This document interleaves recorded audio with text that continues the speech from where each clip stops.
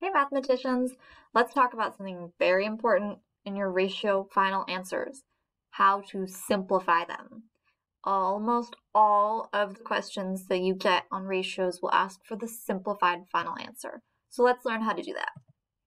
Okay, ratios can be simplified to their simplest form. So we see our ratio here. It's got a bunch of triangles, a bunch of hearts. If we counted them all up, we can see there's one, two, three, four, five, six, seven, eight, nine, ten triangles. 10 triangles to every 3, 6, 9, 12, 15 hearts. That's our ratio. But, oh no, the question does not have that listed as an answer choice because it asked us for the simplest form of our ratio. How do we fix that? Okay, so simplifying is like what we used to do with fractions. We look for a common factor. Um, well, I can see, you can kind of see these. Do you see how these are broken into groups?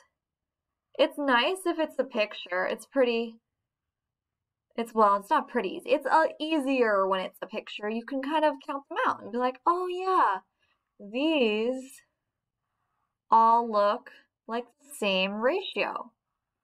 Two triangles to every three hearts. Yep, here that works, here that works, here that works. Oh, it kind of looks like a funny face. Here that works. Okay, cool. So your simplified ratio is two triangles to every three hearts.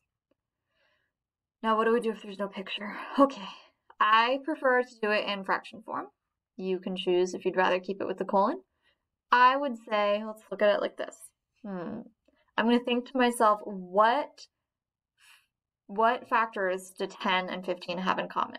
Think way back to like the factor rainbows. You can even go off to the side and say, okay, well, I know that 10 is made up of 1 times 10 and 2 times 5. And I know that 15 is made up of 1 times 5. No, not 1 times 5, 1 times 15. 2 times uh, nothing. 3 times 5. And you can say, oh, hey, I found my greatest common factor. Remember those? It's 5. You can see over here that I broke this bigger picture up into one, two, three, four, ooh, five equal groups. Hmm, okay. So then when you simplify, you're going to divide both parts of your ratio, or if it's in fraction form, both your numerator and your denominator, by the same greatest common factor. 10 divided by 5 is 2. Huh, kind of like the 2 right here. Hmm, what do you think 15 divided by 5 is? Ooh, it's 3. Remember that these are hearts, these are triangles, two triangles to every three hearts. That's how you can simplify without a picture.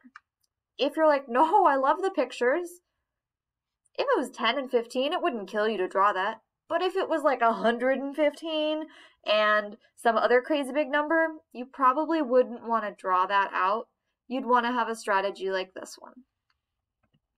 Okay, so a ratio is simplified when the only common factor left between the two numbers is the number 1. Remember that we said that our simplified ratio is two triangles to three hearts. 2 is made up of 1 times 2. 3 is made up of 1 times 3. They're both prime numbers, just one factor pair. And you can see the only common Factor is the number 1. If I divide 2 divided by 1, I still get 2. If I divide 3 divided by 1, I still get 3. So that's not simplifying it anymore. That's how I know I'm done simplifying.